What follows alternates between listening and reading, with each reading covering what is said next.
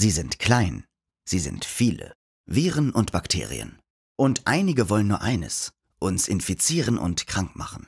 Und das sehr oft in öffentlichen Sanitärräumen, etwa in Schwimmbädern, an Bahnhöfen, an Flughäfen oder auch an Raststätten.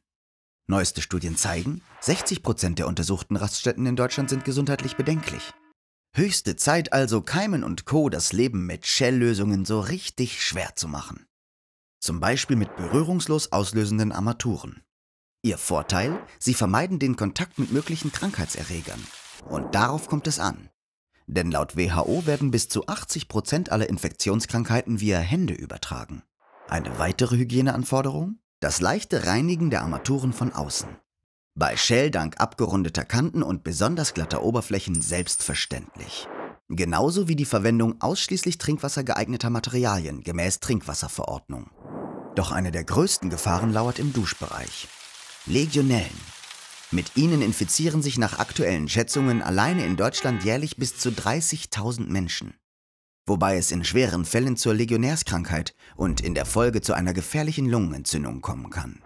In 10 bis 15 Prozent verläuft diese tödlich. Was also dagegen tun? Erstens, vermeiden Sie, dass Wasser zu lange in Rohrleitungen steht.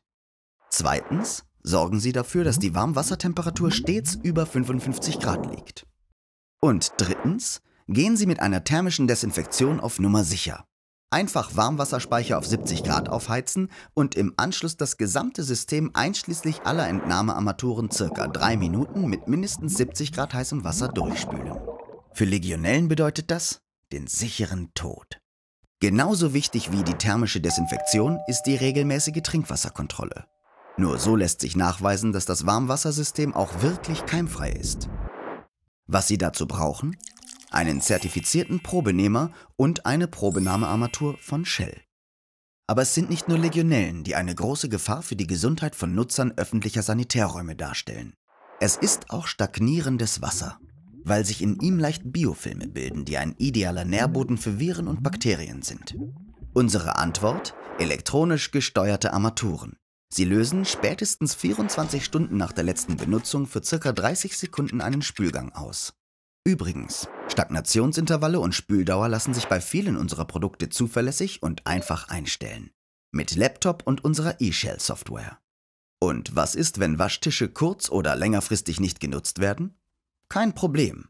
Unsere innovative High-Twin-Technologie sorgt dafür, dass Wandscheiben, Eckventil und Armaturenanschlussleitungen für Trinkwasser bis zu den Entnahmearmaturen ständig durchströmt werden.